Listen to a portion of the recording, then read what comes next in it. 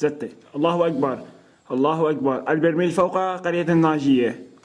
16 12 2012 الله أكبر.